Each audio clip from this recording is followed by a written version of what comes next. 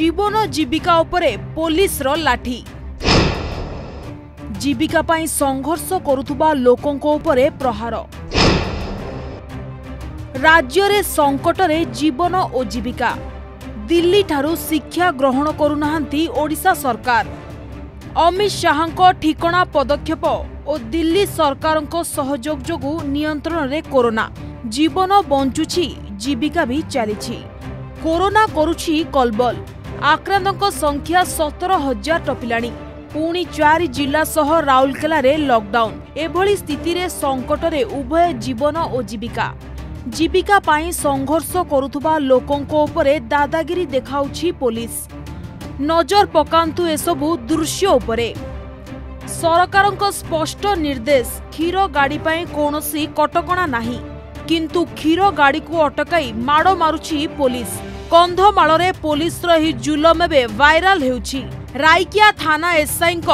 ଏହି ଅମାନବୀୟ ଆଚରଣକୁ ନେଇ ଉଠିଛି ପ୍ରଶ୍ନ ଏହାର କିଛି ଦିନ ପୂର୍ବରୁ ସେହି କନ୍ଧମାଳ ପୋଲିସ ଜିଲ୍ଲାର ଜି ଉଦୟଗିରି ଥାନା ଏଏସ୍ଆଇ ଜଣକ ଜଣେ ପରିବା ବ୍ୟବସାୟୀଙ୍କୁ ମାଡ଼ ମାରୁଥିବା ଭିଡିଓ ଭାଇରାଲ ହୋଇଥିଲା ପରିବା ବ୍ୟବସାୟୀ ଜଣକ ଗାଡ଼ିରୁ ପରିବା କାଢ଼ି ନାହିଁ ପୋଲିସ ଆରମ୍ଭ କରିଦେଇଥିଲା ଲାଠି ମାଡ଼ ଦେଖନ୍ତୁ ବ୍ରହ୍ମପୁରର ଏହି ଦୃଶ୍ୟ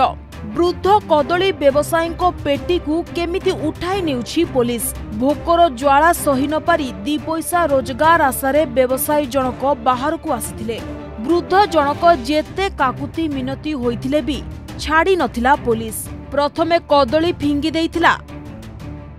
ଦେଶର ରାଜଧାନୀରେ ବି ସଙ୍କଟରେ ଥିଲା ଜୀବନ ଓ ଜୀବିକା केन्द्र गृहमंत्री सठिक समय सठिक पदक्षेप ने दिल्ली सरकार भी सहयोग कले संक्रमण उपर रोक लगला जीवन तो बंचुची ता सहित जीविका भी चली किंतु दिल्ली ठारु शिखुना राज्य सरकार पुलिस दादागिरी पर भी चुप पुलिस मुखिया गरीबों ऊपर खाकीर पावर देखा एमान विरोध में कहीं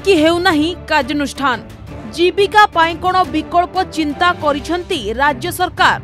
bureau report the Argus dot in